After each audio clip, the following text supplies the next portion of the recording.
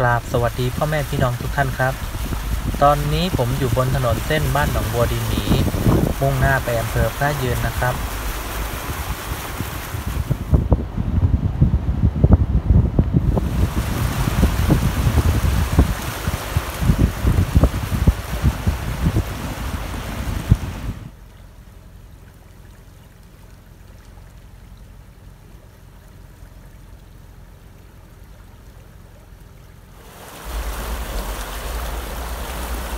จุดนี้คือสะพานบ้านหนองโพ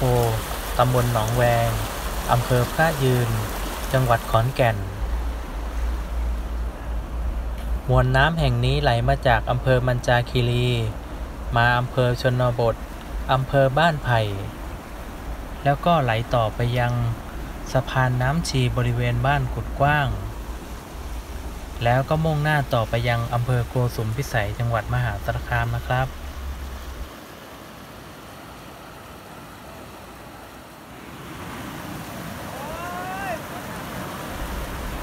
มวลน้ำไหลแรงและเชี่ยวมากเลยนะครับ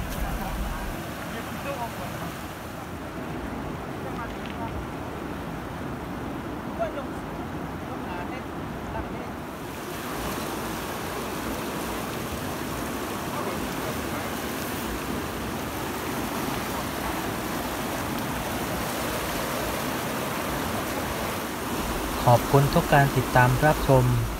ขอให้ทุกท่านสุขภาพร่างกายแข็งแรง ร่ำรวยร่ำรวยนะครับ